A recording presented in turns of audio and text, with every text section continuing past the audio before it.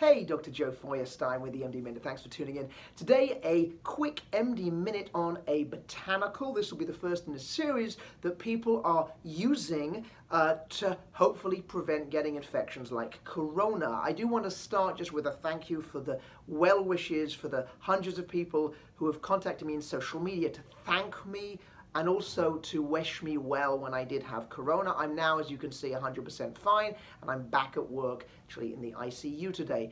So quercetin is the number one flavonoid in the human diet. We make, we eat more quercetin than anything else. Flavonoids are antioxidants. They are a very important nutri nutrient that we have in diets. The quercetin is found in the peel specifically, but mostly if, of things like apples and onions, uh, broccoli and berries and tea. And as I said, it's a potent antioxidant. Quercetin, um, I've been using for many years as an integrated medicine doctor as an, a mild anti-allergy supplement because it has an effect on the cells of the body of the uh, allergy system called the mast cells, and that seems to stabilize them and prevent them from making a lot of histamine, releasing histamine, which is causing itching and allergy symptoms. So that's what quercetin has traditionally been used for, but it does have some interesting effects on viruses. And it, the studies I'm going to talk about, the effects they have about, are based on test tube preclinical studies and not necessarily on COVID-19 itself because that's a relatively new novel virus where we haven't had major trials using quercetin to see if it can prevent uh, corona infection. But based on other studies with other viruses and based on what it does in test tubes, quercetin, which is well tolerated, is not a bad idea. So quercetin has a couple of effects, one of which is that it seems to prevent viral replication. The virus gets into your body and needs to, uh, needs to replicate, divide, because it can't do anything on its own. It needs the body to be able to do that. Um, and then the second thing, which I think is really interesting, is that when viruses like COVID-19 get into the body, they actually trigger an inflammatory response through something called the NL RP3 inflammasome, which is a protein complex inside cells.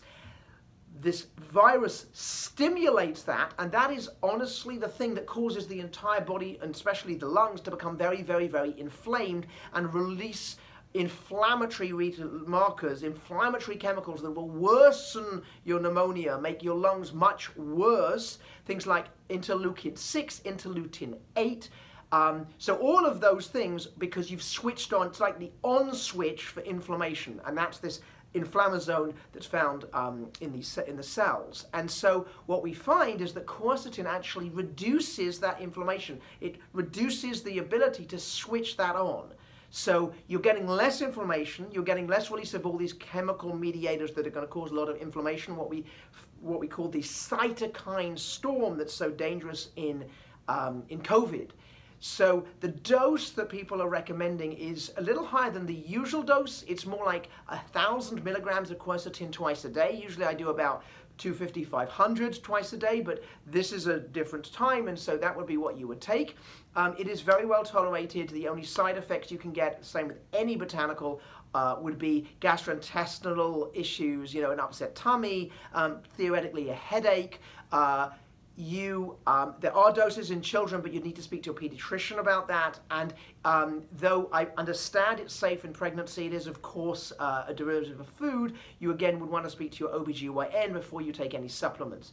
So quercetin the first botanical we're going to talk about to help uh, prevent COVID uh, have a wonderful day and we'll talk soon. Dr. Joe Feuerstein with the MD Minute. Thanks so much